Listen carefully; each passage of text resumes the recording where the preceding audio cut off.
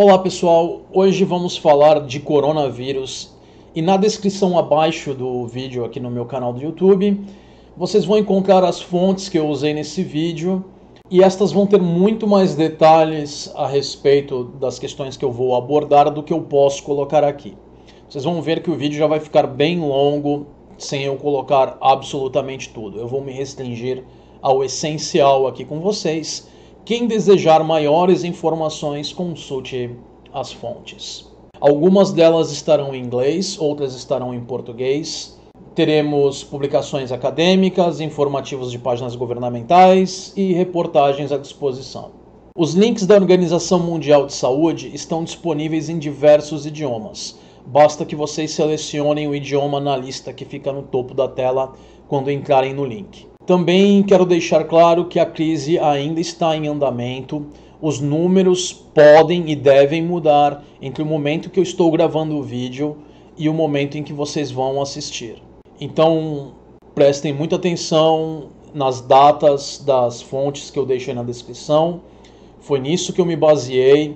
Muito provavelmente, quando vocês estiverem assistindo, vocês vão ter acesso a informações que eu não tinha quando eu estava gravando.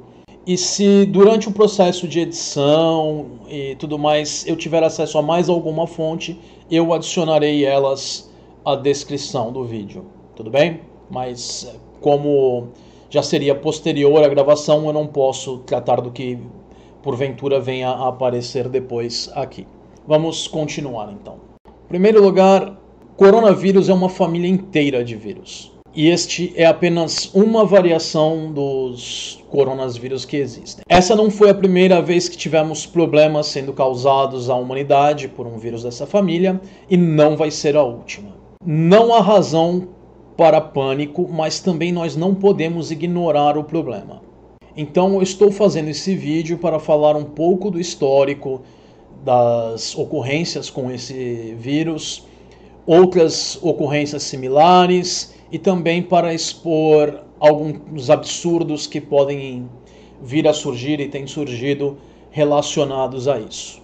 Na tela eu já estou deixando para vocês imagem de um post feito no Facebook, apontando um outro vídeo do YouTube como fonte, e tanto o post de Facebook quanto o, vídeo de YouTube apontado são a mais pura asneira.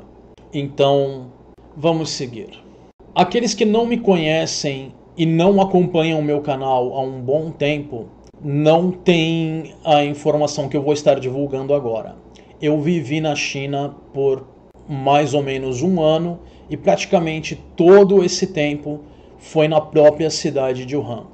Eu só estive fora de Wuhan na minha estadia na China para fazer algumas viagens de turismo a locais históricos. A razão de ter morado na China foi um intercâmbio que participei. É, o intercâmbio foi entre o governo chinês e uma universidade brasileira. Durante o período que eu estive lá, o meu estudo era focado no idioma e cultura chineses. O meu período na China não teve qualquer relação com a minha formação em psicologia. Eu já era um psicólogo formado quando eu fui para esse intercâmbio, eu já tinha atuado aqui por vários anos no Brasil. Algumas pessoas têm a ideia errada de que eu fui estudar psicologia na China. Não, eu fui estudar a língua e a cultura chinesa lá. Eu já estudava aqui no Brasil antes e eu fui aprender um pouco mais lá. Também é, voltei a praticar Kung Fu quando eu estava na China, como parte da, do processo de aprendizado da cultura. Eu já havia treinado aqui no Brasil, enfim. Vamos seguir adiante. Para deixar bem claro a todos a minha posição nesse assunto, eu quero deixar muito evidente, muito claro para todos que há um, um, peso emocional nessa questão para a minha pessoa. Isso pode afetar a forma como eu estarei tratando do assunto, pois eu tenho muitos amigos chineses residentes de Wuhan dos quais, desde que começou essa crise, eu não tive notícias. Já os meus amigos estrangeiros que estavam comigo na época em que eu estava em Wuhan, e até outros brasileiros, eu consegui contato com a grande maioria destes, ou eu já sabia que estes já não estavam mais na China, e destes a maioria estão todos bem. Porém, os chineses eu praticamente não tenho nenhuma informação a respeito. Então, eu estou muito preocupado com a situação deles. Para demonstrar a minha alegação de que eu morei na China e em particular em Wuhan, eu deixo algumas fotos e irei comentar rapidamente sobre elas, mas não entrarei em grandes detalhes. É apenas para que vocês realmente saibam que eu estive na China. No topo da tela e no meio da tela, vocês podem ver duas imagens do mesmo local, um ponto turístico histórico chamado Torre da Garça Amarela. Ele é famoso em Wuhan e se você gosta de história, é um local incrível. Você sente a história viva ao seu redor. Na imagem que está no meio da tela, vocês podem me ver no canto esquerdo. Eu estou com uma mochila nas costas, a minha camisa é vermelha e preta com umas listinhas brancas. Uh, à minha frente tem um colega meu português, o João. À direita na tela mais ou menos no meio da tela, vocês podem ver um rapaz apontando para uma estátua com uma camisa azul bem escura, com listras brancas nos ombros, que é o Lex. E atrás do Lex, também perto da câmera, mais perto do que as demais pessoas, vocês podem ver um rapaz que pode parecer chinês, mas não é. É um amigo da Indonésia, o Aboy. Na foto em que eu apareço na parte de baixo da tela, eu estou para tocar um sino em um templo budista em Wuhan. Eu estava com alguns amigos chineses e alguns amigos estrangeiros visitando esse sino apenas como uma atividade de lazer. Os meus amigos chineses não aparecem na foto, eu não, são, não tenho a menor ideia de quem são os chineses que aparecem ali, são apenas outras pessoas que frequentavam o templo. Enfim, era só uma das atividades fornecidas no templo.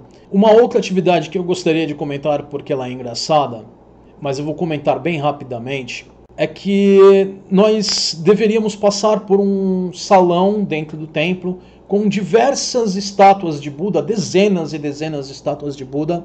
E enquanto nós caminhávamos, é, você deveria escolher o, o percurso que você iria fazer, porque você começava escolhendo o lado para o qual você iria andar e tinha vários caminhos, enfim. Quando você cansasse de andar por todo o salão ali, ou enfim, você deveria é, reparar qual era a estátua na qual você parou em frente e durante o tempo todo você deveria ir na sua mente contando números e memorizar o número que você estava pensando quando parou na frente da estátua escolhida. Em posse da, é, de qual era a estátua, né, da, de, da identificação da estátua, mais o número que você estava pensando, você voltava para falar com um dos monges e ele lhe entregava um cartão bonito, todo decorado na frente, e no verso ele vinha com alguns dizeres em chinês tradicional. Eu não consigo ler chinês tradicional. Eu fui aprender na China o chinês moderno, o mandarim moderno. Então eu precisei da ajuda de um amigo chinês para entender o que estava no cartão, porque o cartão que você recebia era um cartão da, da estátua do Buda que você havia escolhido e cada uma tinha um significado, uma previsão para a sua vida, uma leitura sobre a sua pessoa, enfim.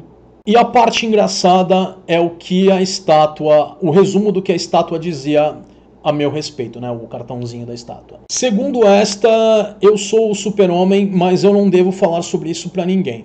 Então, por favor, me ajudem a guardar esse segredo, ok? Bom, agora vamos falar das duas últimas imagens que eu coloquei para vocês na tela. A imagem que está na parte de baixo da tela, do lado da imagem onde eu estou tocando o sino, vocês podem ver um prédio. A maioria das pessoas não tem a menor ideia do que é esse prédio, até que eu diga, né? Então, vamos lá. Esse prédio, com esse tamanho todo que vocês estão vendo, todos esses andares, ele é a biblioteca da universidade. Esse é o prédio da biblioteca de Hubei. Hubei é o nome da província onde fica Wuhan. Para compararmos com a situação aqui no Brasil, como nós dividimos o Brasil, a China é dividida em províncias da mesma forma que o Brasil é dividido em estados. Então, quando eu falo província de Hubei, seria equivalente a falar de algum estado aqui no Brasil. Wuhan é a capital de Hubei. E aí vocês devem estar imaginando com toda razão que a Universidade de Wuhan deve ser grande para ter uma biblioteca desse tamanho. Realmente, ela é grande. Só que ela não é a maior universidade na China. Uh, a minha experiência com universidades na China são que elas são muito grandes. Eu não, eu visitei a maior universidade de Wuhan, que é a universidade da o nome das, é, da universidade é a Universidade de Wuhan. Eu estudei na Universidade de Hubei, que é a segunda maior da cidade. E, e esse é o prédio da Universidade de Hubei. Eu nunca vi a biblioteca da Universidade de Wuhan. Mas se a Universidade de Wuhan é maior que a Universidade de Hubei, como eu sei que é, eu imagino que a, a, biblioteca de lá seja ainda maior. O qual é o tamanho real, eu não tenho a menor ideia. Uma outra evidência de que eu estive na China, que está perdida aí na tela, entre a imagem que eu coloquei ali de um post, um post de fake news que estava sendo usado por um teísta no Facebook, as imagens da Yellow Crane Tower, a torre da garça amarela, vocês podem ver ali perdida uma foto de um de alguém todo encapotado, que sou eu, com um chapéu que não é meu, foi colocado na minha cabeça enquanto eu estava tirando essa foto. É um chapéu do partido como é um chapéu tradicional chinês associado ao Partido Comunista. Ele foi colocado na minha cabeça por cima do gorro que eu usava enquanto eu tirava essa foto. Quem aprontou isso comigo e estava segurando a ponta ali da bandeira foi um, ah, e também quem tirou essa foto foram duas chinesas que vendiam souvenirs para turistas na Grande Muralha. Estava muito frio, pessoal, muito, muito frio, porque eu fui visitar a muralha no meio do inverno. Aí vocês podem falar, você tá maluco. O vento é absurdo lá, a temperatura cai muito. Por que eu fiz essa loucura? Porque você fazer turismo na China é, é surreal. É um mar de gente para tudo quanto é lado.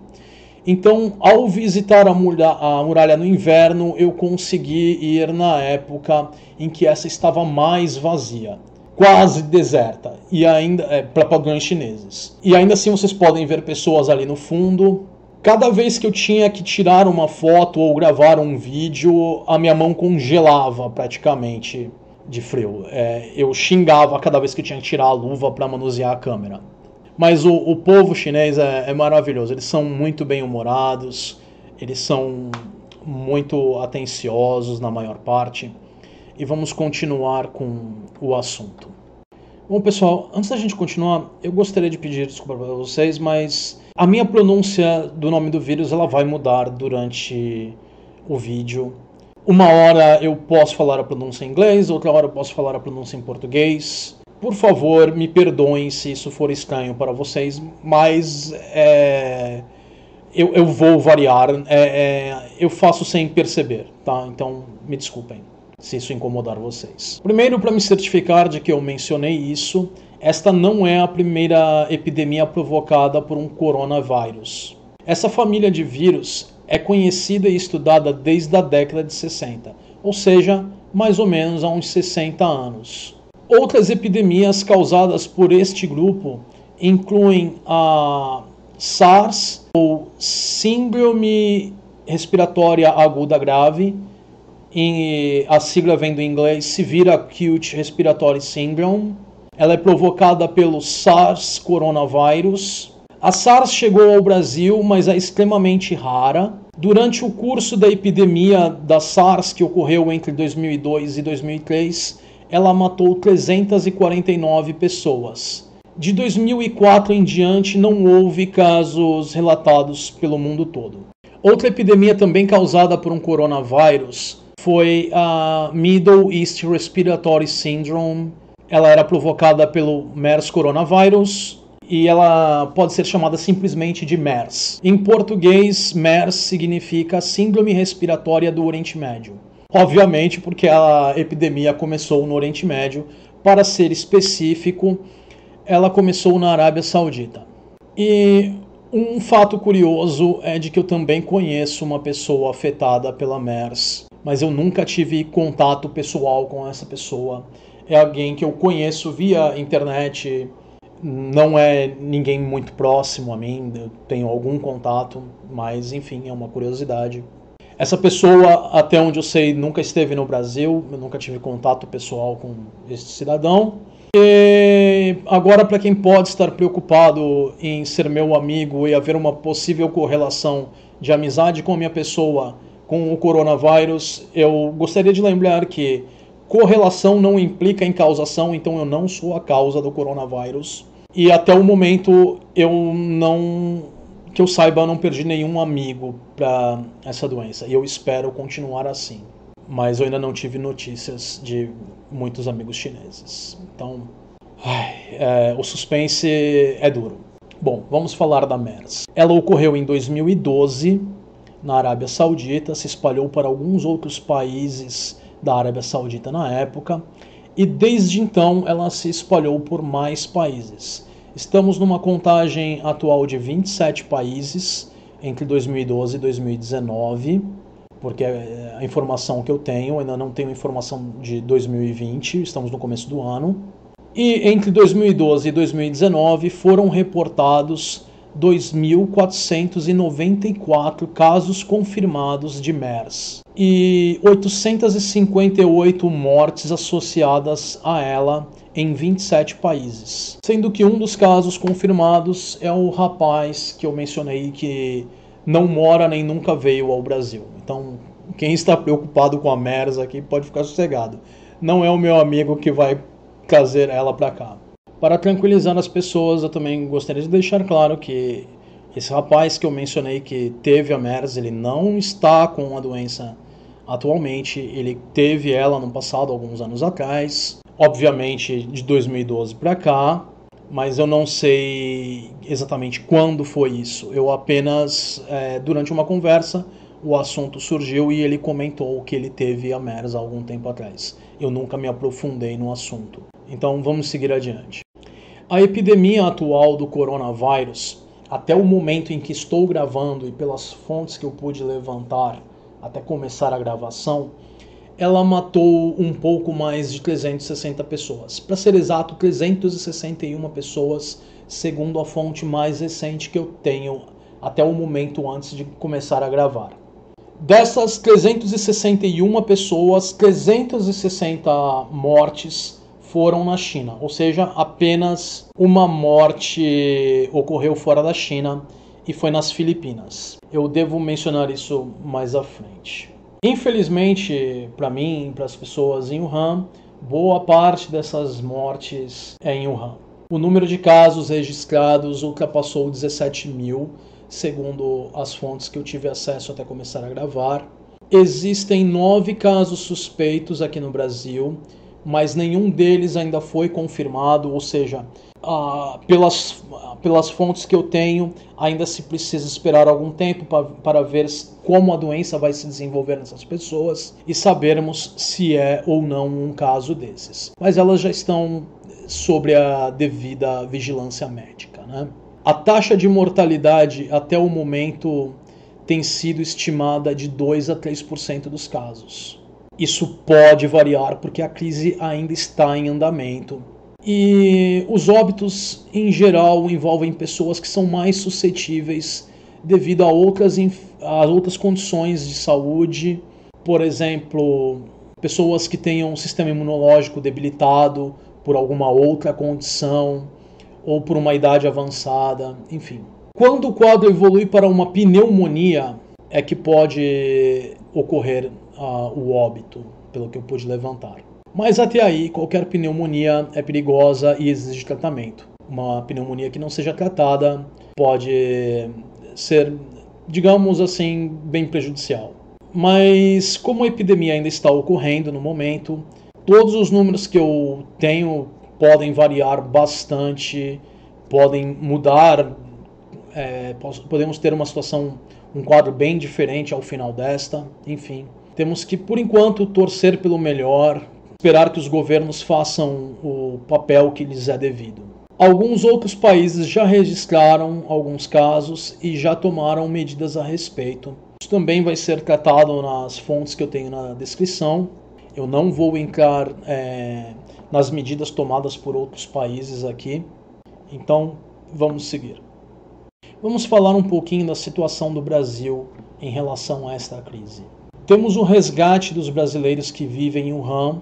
Estes serão repatriados pelo governo a pedido dos próprios e eles é, declararam que voluntariamente se colocam em, vão se colocar em quarentena ao chegarem aqui no Brasil. Né? Eles aceitam permanecer em quarentena.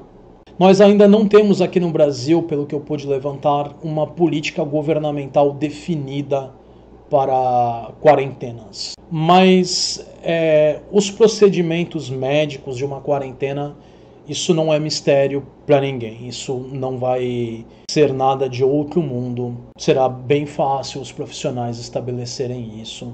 É só uma questão de política que né, é meio nebulosa em regras de como se fazer a quarentena. Não há um procedimento bem definido o pedido dos brasileiros que moravam em Wuhan e estão sendo repatriados, ele foi aceito tanto pelo legislativo quanto pelo executivo. Então não deve haver muita demora para que esses sejam trazidos, mas como eles serão colocados em quarentena, não há razão para ninguém ficar preocupado com isso. E de todas as mortes provocadas pelo 2019 coronavírus, que é o nome que tem sido aplicado a este, apenas uma foi fora da China e ocorreu nas Filipinas. Então é, é praticamente inexistente uma baixa fora da China. E nós não sabemos o nível de cuidado que as pessoas na China estão recebendo. Nós não, eu também não tenho informação sobre o nível de cuidado que essa pessoa nas Filipinas recebeu. Então, nós não sabemos ainda eles receberam todos os cuidados possíveis, ou se houve algum déficit no atendimento, enfim, por algum outro problema, ou por dificuldades relacionadas a essa doença. Nós simplesmente não sabemos como foram feitos os cuidados.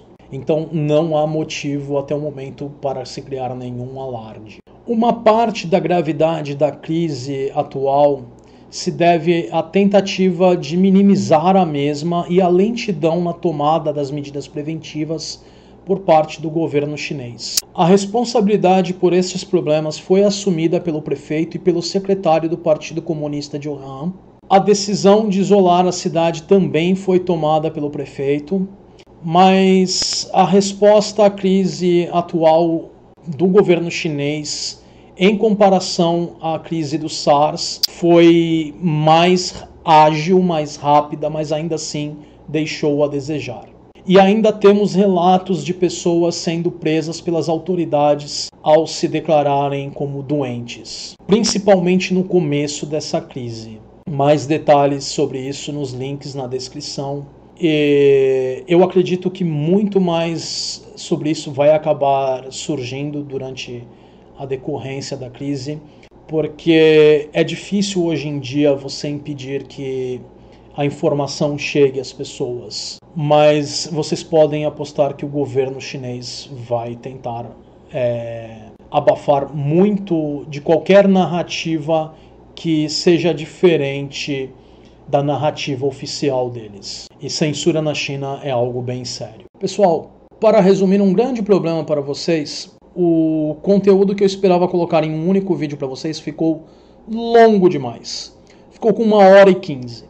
Isso provavelmente seria reduzido um pouco na edição, mas ainda assim, certamente seria mais de uma hora só tratando do que eu havia escrito no roteiro. Então eu preferi dividir o roteiro em vários vídeos. Por isso, ele vai, é, esse vídeo vai ficar com a sensação dele estar quebrado, no sentido de que há coisas que eu coloquei na tela e colocarei fontes na descrição que não serão tratadas no vídeo. porque ficarão para as próximas partes. Então, me desculpem, o, a gravação ficou muito mais longa do que o que eu esperava, por isso a decisão de mudar para várias partes. Eu imagino que para passarmos por todo o roteiro eu precisarei dividir em até três partes. E ainda temos mais alguma coisa que eu quero colocar para vocês, além disso, no final do que eu já tenho gravado. E, ou seja, longo demais. Então, me desculpem. E eu gostaria de avisar para quem tiver interesse em coisas relacionadas à China ou interesse em história natural, em paleontologia. No canal eu tenho um vídeo que é uma compilação de fotos da minha visita ao Museu de História Natural de Beijing. Se você gosta de dinossauros, vai ter várias fotos de esqueletos de dinossauros, de fósseis. É simplesmente um lugar incrível se você gosta de ciência, principalmente paleontologia. Eu me diverti muito quando eu estive lá, muito interessante. E se vocês tiverem interesse, esse vídeo já está no canal faz muito tempo, mas como estamos falando de China, eu aviso e deixo o link para ele na descrição. Então, divirtam-se, me desculpem pela divisão do tema em partes e nos vemos no próximo vídeo. Eu me despeço com o usual. Vida longa e próspera. O psicético adverte: ceticismo faz bem à saúde. As fontes estarão na descrição do vídeo.